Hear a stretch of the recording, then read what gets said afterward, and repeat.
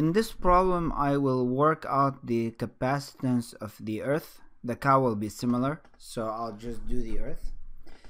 Um, and we will assume, of course, that uh, the earth is a spherical capacitor. Uh, we know what the radius is, and uh, we will assume that uh, the uh, uh, surface of the earth is the inner ionoshell. We're going to basically be considering a spherical uh, capacitor where the ionoshell is the surface of the earth and uh, the charge is distributed on that surface by an amount q whatever that q is and the outer surface of the shell will be at infinity so it's uh, like an infinite universe an infinite sphere so that we can take our reference voltage to be there at infinity uh, which would be zero at infinity of course. Um, it's safe to consider that for the sphere because the charge does not extend like the cylinder from minus infinity to infinity where our reference has to be chosen otherwise in the case of a cylinder or a coaxial capacitor. But in this case since we have a spherical surface it's safe to consider our reference to be an infinite to a sphere of an infinite radius at infinity where the potential is going to be uh, zero there. Okay and uh, the way we will uh, find this out is through uh, we're gonna find the electric field right? From the electric field you could figure out what the potential is and uh, from the relationship between the potential with the charge you'll be able to take the ratio of q over v which would be your uh, which would be your capacitance is basically how this is gonna work out. Okay so here is a model what on what we are looking at. We have let's say the earth here. Or let's or let's just say that this is the uh, the infinite radius. And this is the earth in green. Okay? It's concentric of course. Or actually why don't we make the red one the earth? And this is the uh, this is infinity so this would be the radius of the earth r. Okay and let's say we have some charge q here on the surface of the earth. Okay uh, right? Uh, first I'm gonna use Gauss's law to approximate the electric field.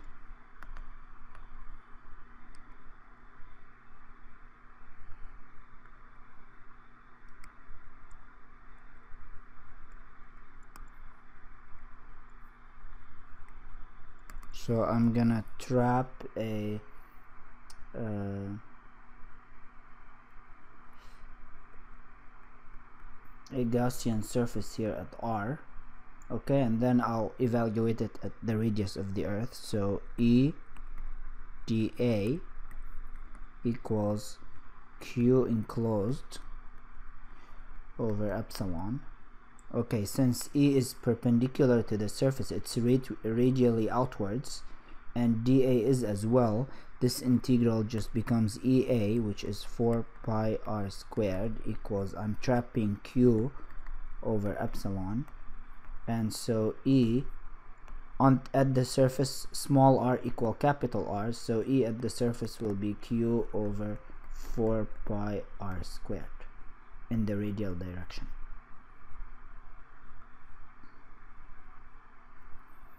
Okay. Let's actually leave it on the Gaussian surface small r and we will evaluate r at the end. So this is the electric field in a Gaussian surface surrounding the earth okay so I will figure out the potential now so I can find the capacitance. So V integral of EdR since dl is dr from the reference which is infinity uh, all the way down to the radius of the earth okay so this is q over 4 pi oh I forgot an epsilon here. 4 pi epsilon. And then I have 1 over r squared dr from infinity to capital R. Okay so oh and there's a minus sign here of course.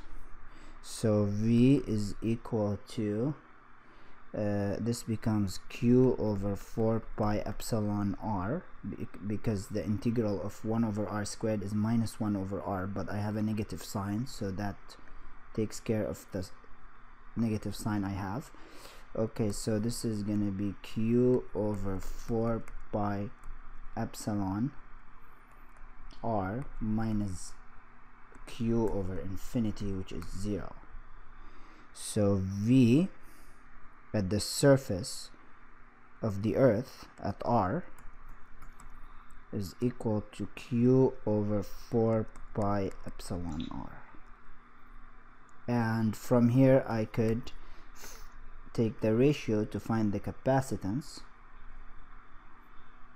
because the capacitance is just C is equal to Q over V.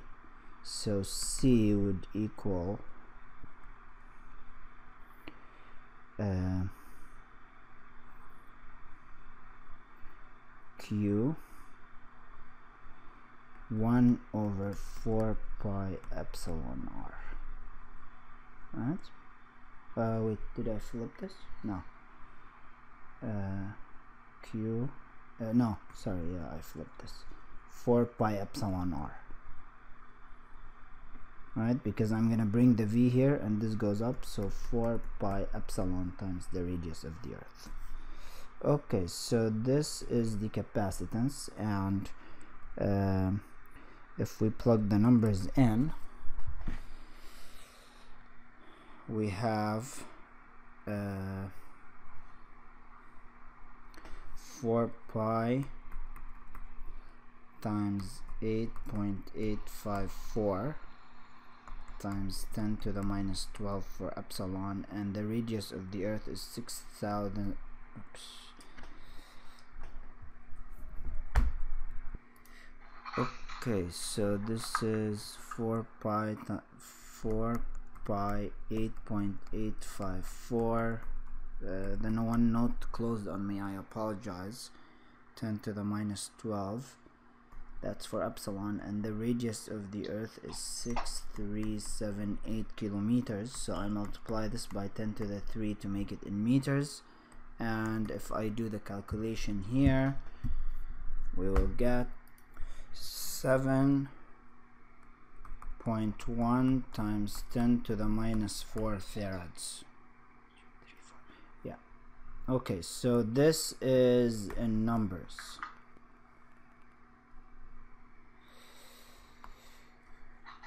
okay and now what I'm gonna do is I'm gonna estimate uh, I'm gonna go directly to part C because part B is really straightforward.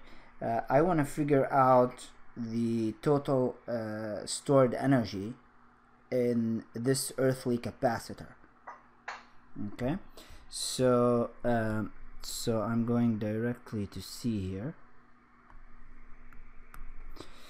okay and uh, for that I'm gonna use the work is equal to epsilon over 2 integral of e squared d tau on v. Okay on the entire volume of all space. This is supposed to be all space. This is the way this formula was derived. I have another recording where I kind of elaborate on this formula and derive it if you're interested look it up. But for now I'm just gonna go ahead and use it. So E is the electric field so that means I have to find the electric field okay? And uh, which I sort of already did. I have E here. It's Q over 4 pi epsilon r squared. And notice that we are told at the surface of the earth that E field has a magnitude of 100 volts per meter. That's a boundary condition in order to figure out what the charge is because the charge remains to be uh, uh, seen so I can find out um, what E is right? So uh, so E is uh, Q over 4 pi epsilon r squared and at the radius of the earth this becomes r squared. Okay and so I could find Q to be 4 pi epsilon r squared times E. We're talking magnitudes here. Okay so this is the entire uh, charge trapped on the surface of the earth. So this is 4 pi times 8.854 times the radius 6378 times 10 to the 3 squared. And uh, mm, the magnitude of E was uh, 100 volts per meter. So times 100 okay so Q will equal uh, 45264 coulombs. Okay uh, so now let me go and integrate the electric field. So uh, back to the energy W. So this is gonna be a triple integral because it's over all the volume. Uh, 1 or Q okay I'll plug in the numbers at the end. 4 pi epsilon r squared right? And the integral in spherical coordinates d tau in spherical coordinates is um, r squared times sine theta dr d theta d phi. R is going from uh, the radius all the way to infinity right? So this is uh,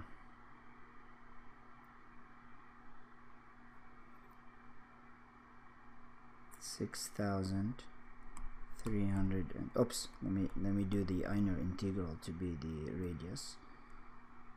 Three seven eight times 10 to the 3 uh, oops wait I have to square this don't I? This is squared.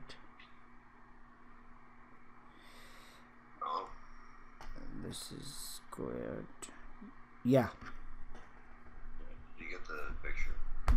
okay I forgot here epsilon over 2 I apologize okay the uh, uh, so I'm integrating from 6 3 7 8 10 to the 3 to infinity. Oh and by the way the reason I'm doing this because remember from 0 uh, to 6378 there is no charge here. So if, if if I were to consider a Gaussian surface here there wouldn't be an electric field.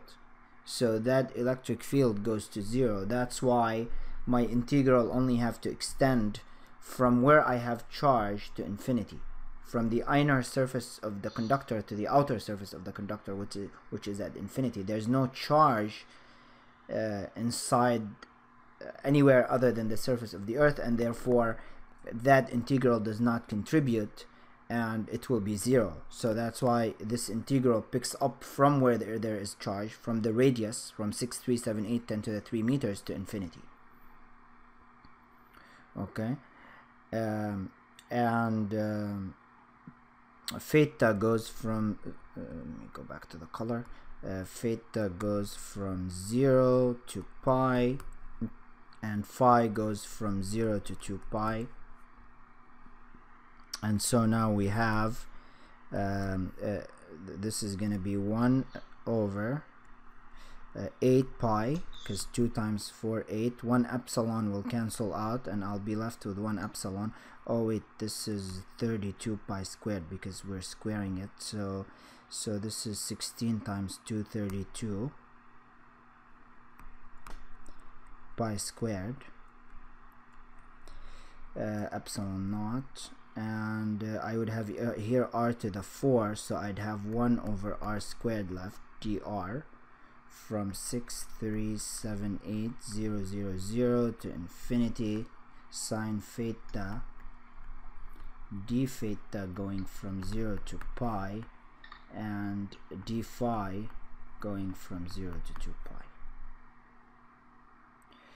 Okay uh, so clearly this is gonna get me this is a simple integral minus cosine which will get us 2 and this is a 2 pi and this will be minus 1 over r from 6378000 to infinity. And here I have 1 over 32 pi squared epsilon. Uh, this is the energy. Okay so then let's see what we get here. Uh, at infinity this is 0 so this is gonna get me 32 pi squared epsilon. Uh, 1 over infinity is 0 minus minus this becomes a plus 1 over 6378000 times 4 pi. So 1 pi cancels out and 4 with 32 this becomes an 8 okay and so if we plug the numbers in oh I forgot the q didn't I? Uh, I apologize. There's a q squared here. Q squared here which I found. And uh, this q squared is turned out to be by calculation it wasn't given. I've seen this version of the problem where uh, you are given q so you just plug it in. Here I had to find it from the boundary condition of the electric field at the surface of the earth so I had to employ that to find q. So this is 452604 so this is all, all so this is 4 5 uh, 2604 2604 and this is squared because the electric field is squared okay plugging all this in uh, I get uh, 1.44 times 10 to the 14 joule joules. So the energy is uh, 1.44 times 10 to the 14 joules. This is the amount of energy stored in that field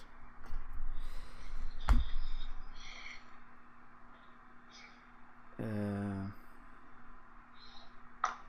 did I replace q squared? I just want to make sure it's everywhere in my expression. Yes it is